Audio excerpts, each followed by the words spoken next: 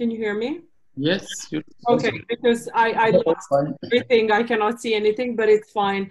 Um, we saw how the sectors changed and everything uh, moving from traditional to everything in digital. So perhaps uh, looking forward to hear some insights from Danko. Uh, he is a principal manager from BizzBee Solution and uh, he will talk about how from general consulting to more specialized growth strategies. So this is very, very up to date. So uh, Danko, um, pleasure to having you here, even though I cannot see anything right now. So. No, no worries. I can see everybody and everybody can see you. Perfect. So hello everybody. My name is Dancho and uh, I wanted to to be part of this network and actually share you the story uh, how as a management consultant within this crisis we managed to shift from being a general consulting company into a more specialized growth consultant consulting company. Uh, i will share you my screen. Uh, which one it is? It's this one. So i'll just run up the slides so before I begin, I saw some interesting comments from Yehona. You also said that the BCC is starting to do some speci specialization, which is great to hear. And also I heard from Roden that during this COVID crisis, companies realized that they need to change. It's not the when, but just COVID pushed people that really change was a must. And also I heard Linda's presentation, presentation, which was perfect because during the COVID, there was increased demand in digitalization and going over toward the, the online world. Uh, since I assume some of you know me, but I just choose to put a one short slide just to give you some background about me.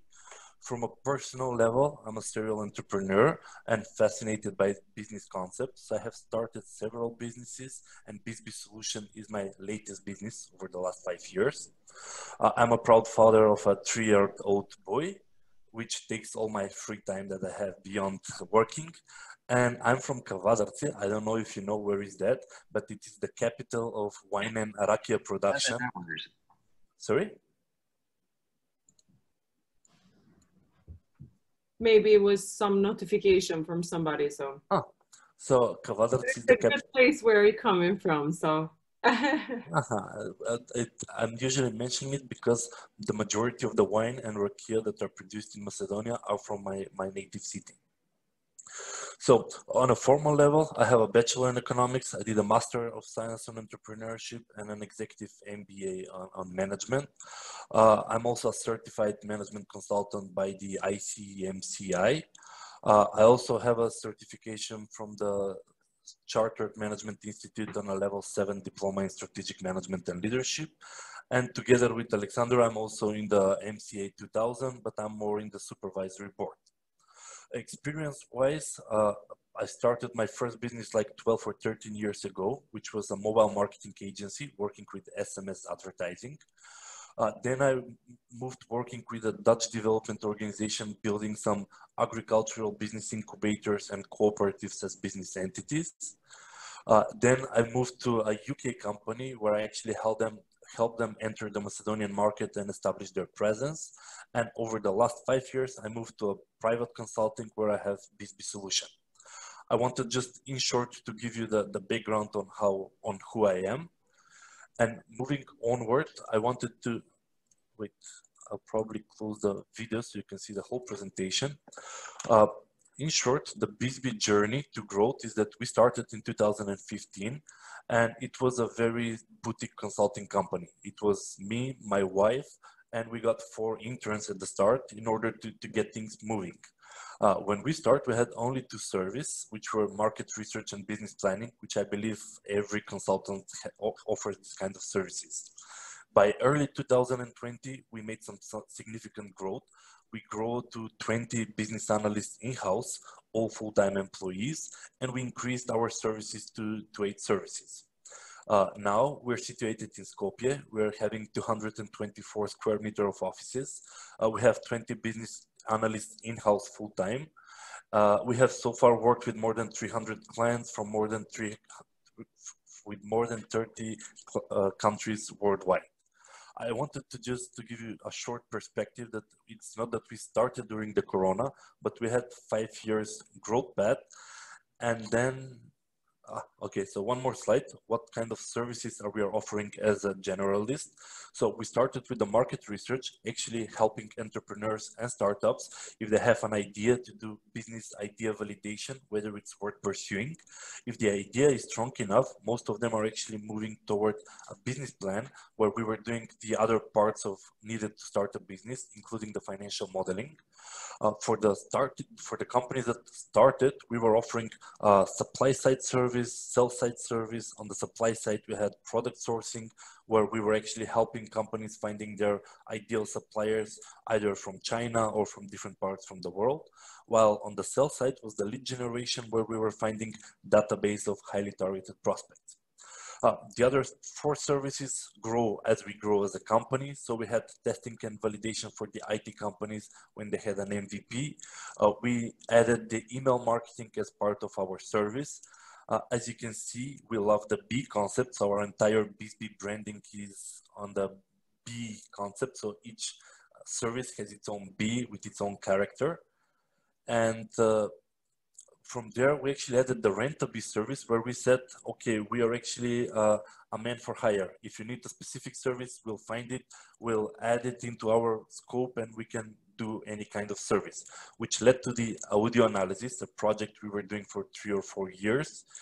And as you can see, we were everywhere, working with everybody, doing everything. And that's actually the short for, for a generalist. And then we got the COVID-19 and it doesn't hit only us as a consulting company, but it also affects the B2B sector in, in general. Uh, the first problem that we got was that many of the projects that we had ongoing were actually paused and they were put on hold. I mean, COVID came up, quarantine was introduced, and companies was a bit scared. And uh, many of the projects that we were working on were directly or indirectly impacted by the by the COVID.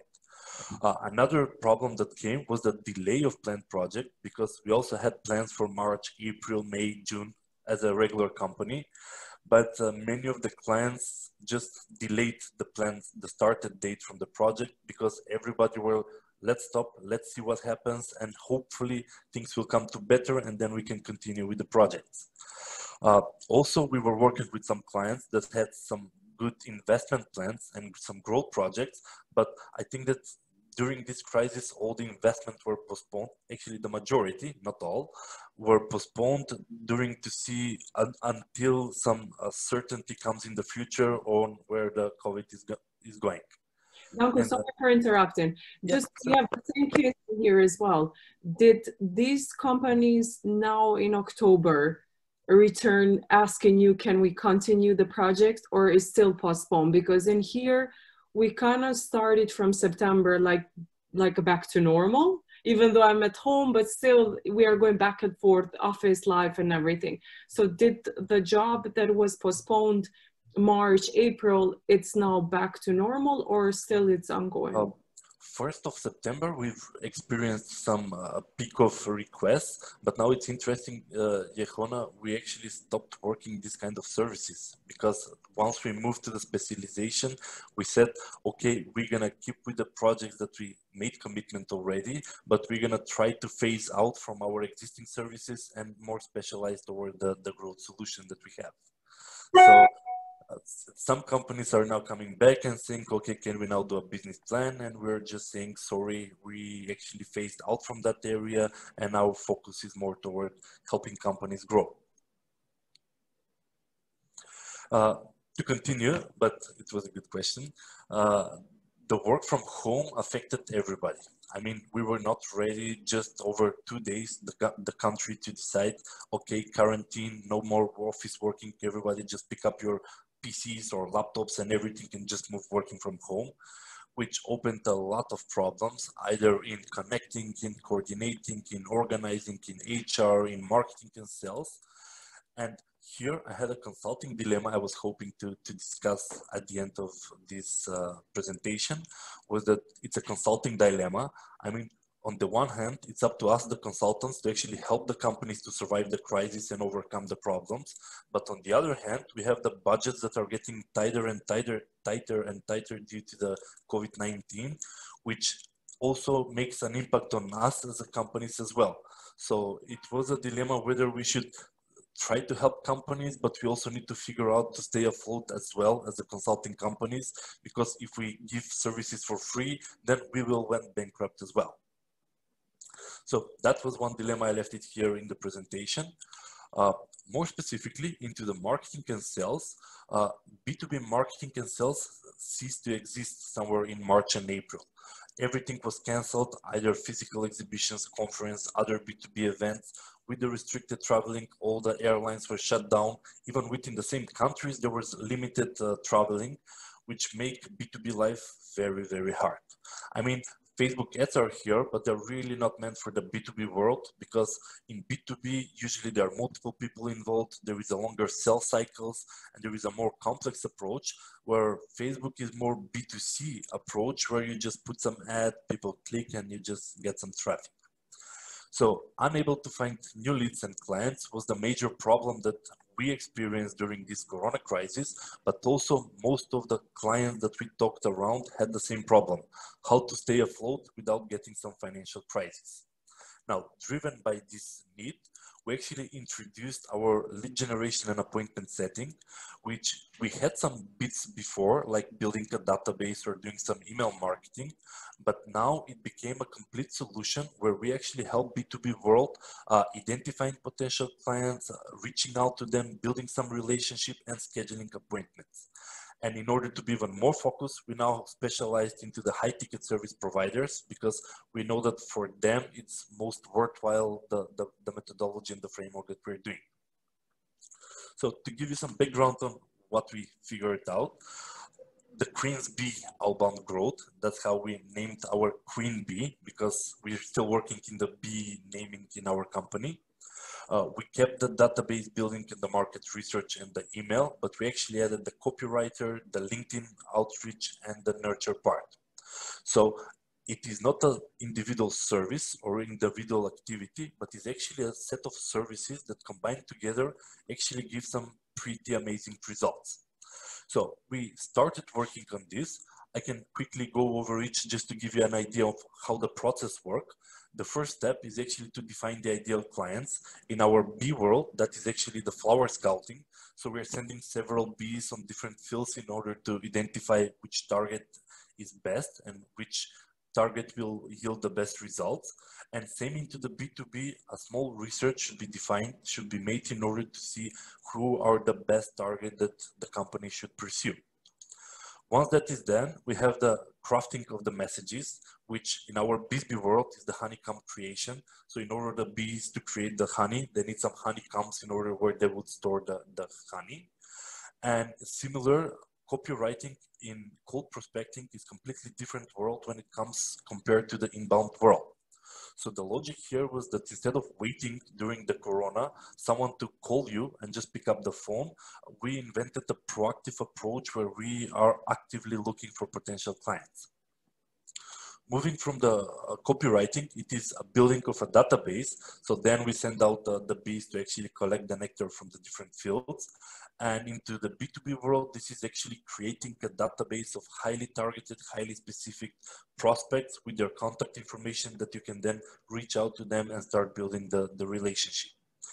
Once the database is built, am I going too fast? Because I know that we are on a time schedule, so I just wanted to... For me, it's fine. I think it's, yeah, yeah. Okay, so then we started with the reach out where we started the honey production in our BizzBee logic where we're doing through email and, and LinkedIn. For LinkedIn, we have our Linda, who is actually going on LinkedIn, approaching uh, highly targeted prospects. And it's not a sales-oriented approach, it's more relationship-oriented approach. So for example, if I'm targeting management consultants, I'm not gonna go on LinkedIn and hide buy my services, buy my services, buy my services. It's just, I will try to connect with them and start building some relationship and conversation If there is opportunity down the road or a need, then I can actually try to present my solutions or even our clients.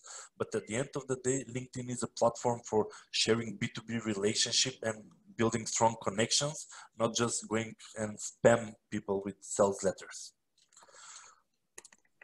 Some people prefer LinkedIn outreach, while other one are still using the, the old-fashioned email. And for that, we have Milos, where through a different sequence of messaging, we're also trying to build the relationship.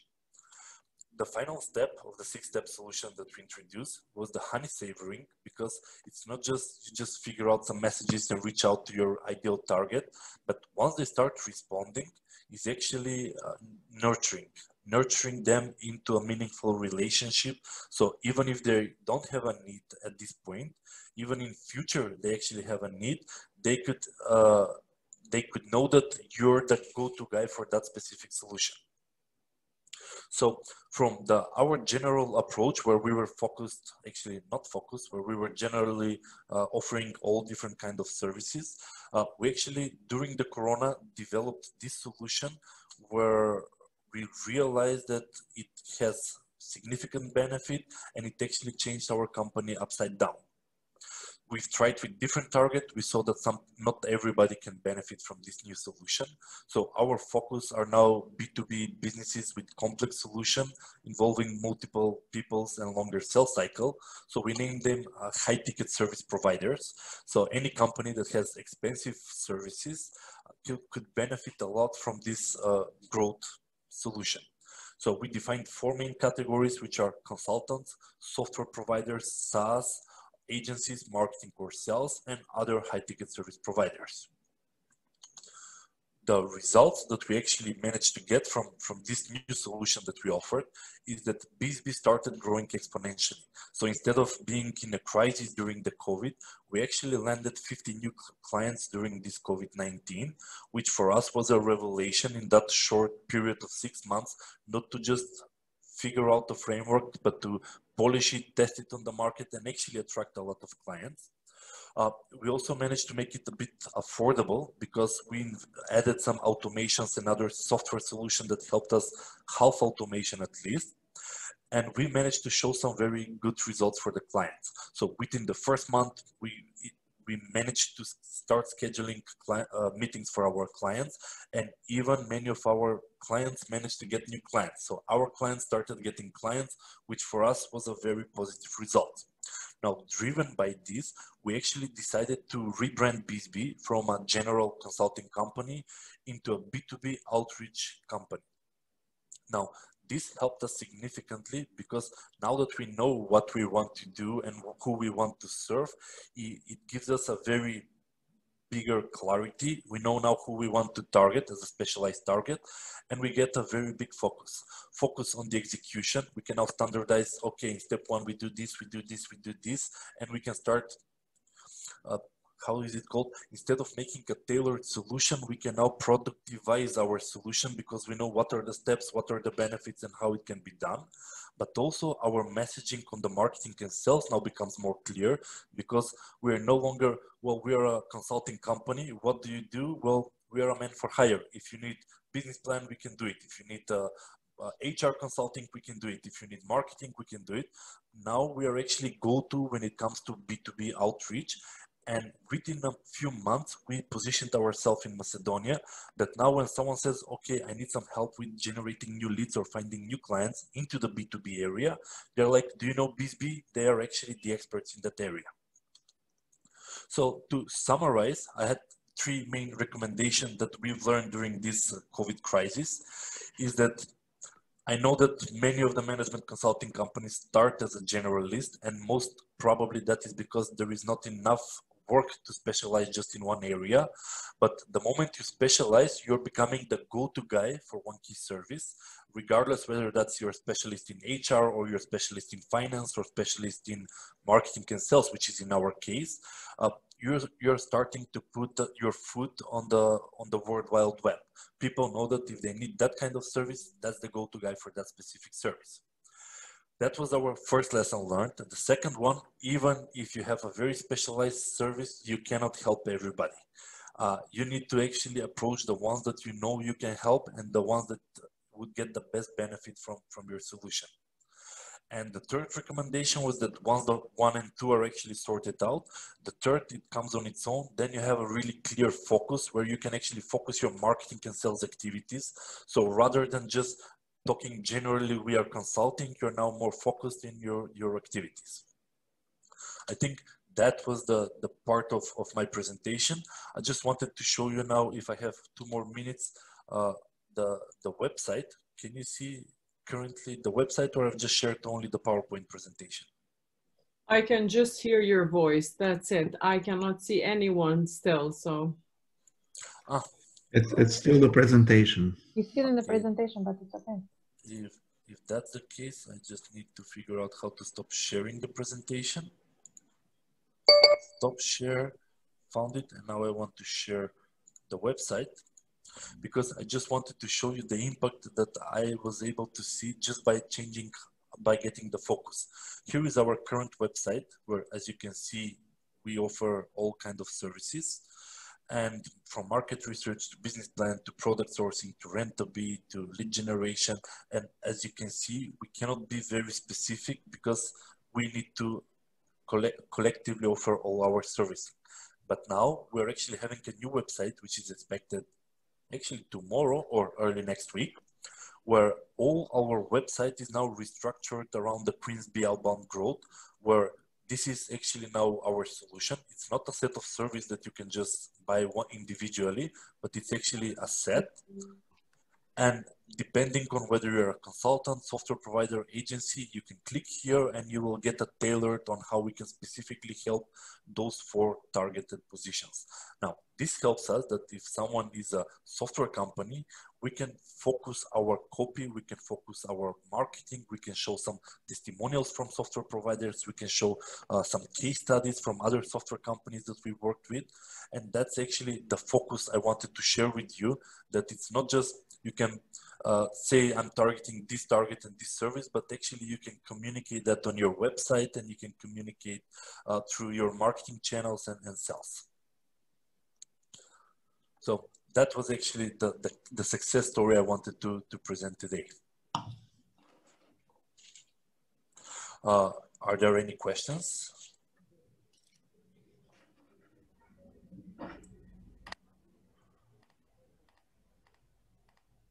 It looks like we don't have questions.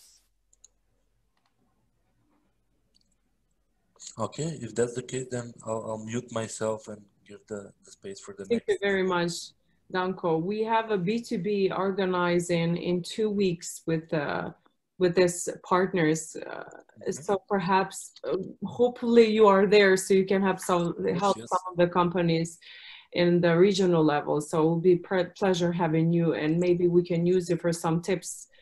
In That's our the one on the 20th? Yes, the one in the 20th. Yeah, yeah. Yes, perfect. Because we have a lot of companies who are specialized in marketing, but not in B2B.